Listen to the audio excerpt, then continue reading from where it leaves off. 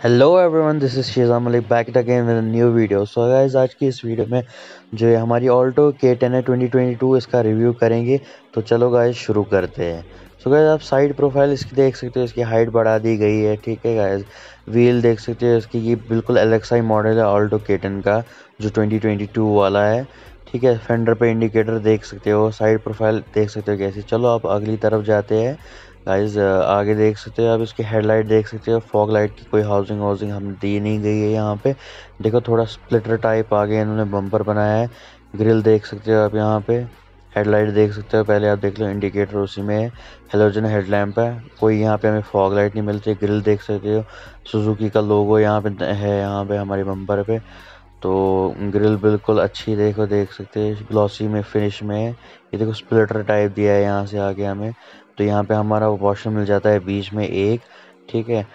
तो side profile देख सकते हो गाइज़ ऐसी। है, इस वीडियो का क्रेडिट जाता है एसएसडी करा है इसको गाइज़ ठीक है? तो साइड से देख सकते हो कैसे इसकी हाइट बिल्कुल बढ़ा दी गई है। हाइट इसकी है 1520 mm की और 1490 mm की इसकी विड्थ है और 3530 mm की इसकी लेंथ है। व्हील बेस है इसका 2380 mm का, ठीक है गाइज़ तो देखते हो, देख, देखो साइड प्रोफ़ाइल कैसी लग रही है गाइज़ गाड़ी की। हाइट इसकी नो डाउट बढ़ा दी गई है, ठीक है? थोड़ी बहुत ठीक दिख रही है तो व्हील देख सकते हो, अलग आई वेरियंट है तो स्टील रिम बिल्कुल आ रहा है विदाउट कलर तो ये तेरह एम, तेरह इंच के व्हील्स है इसमें, ठीक है? तो फेंडर पे इंडिकेटर है। और देख सकते हो फेंडर पे इंडिकेटर है यहाँ पे, ठीक है? और जो ओ आर से जो वैगन आर की बेस मॉडल में आते हैं वही वाले हैं, ठीक है? अंदर से एडजस्ट नहीं होंगे ये। ठीक है? तो यहाँ पे फेंडर दोबारा, ये फेंडर पे इंडिकेटर दोबारा दिखा रहा हूँ। ये हैंडल्स देख सकते हो। ब्लैक कलर के बेस मॉडल है इस वजह से। ठीक है? तो इसीलिए तो इसमें बेस मॉडल में अच्छी बात है। बम्पर हमें ये मिल जाते हैं बॉडी कलर कलर ठीक है गाइस तो अब चलो बैक प्रोफ़ाइल की तरफ़ चलते हैं। देख सकते हो कैसी दिख रही है यहाँ से बैक से। ठीक है हेडलाइट सॉरी टेल लाइट्स है, जो भी चेंज हो गए, पूरी बैक प्रोफ़ाइल ही चेंज हो गई है। और इसमें सिंपल एक ऑल्टो के टेन का लोगो आता है और सुजुकी का लोगो आता है, ठीक है? तो टेल लाइट देख सकते हो, ये थोड़ी बहुत पुरानी स्लेरियो की जैसे लग रही है, जैसे मैंने पिछली वीडियो में भी कहा था आपको। तो ऊपर से हमें कोई एंटीना नहीं मिलता है शार्क फिन तो मिल ही नहीं सकता इसमें गाइस ठीक है? तो यहाँ पे इंडिकेटर का ऑप्शन है और इसमें रिवर्स का और ब्रेक लाइट का, ठीक है? आप देख सकते हो।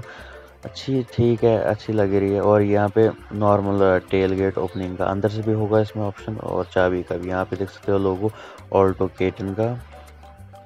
ठीक है, देख सकते हो यहाँ से साइड प्रोफ़ाइल पीछे से देख सकते हो। थोड़ी थोड़ी एस्प्रेसो जैसी भी लगती है।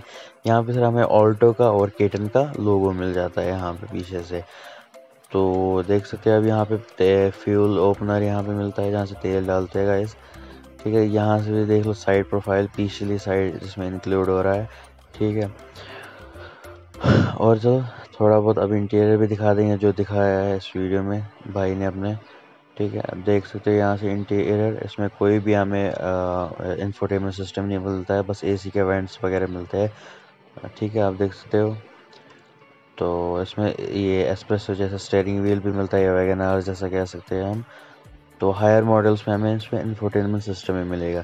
तो बस गाइज़ यही था आज का रिव्यू इसका। आप देख सकते हो कैसी लग रही है ये। Thanks for watching this video जो सब्सक्राइब लाइक एंड शेयर और गाइज़ इन भाई का भी चैनल चेकआउट करो S S D garage thank you guys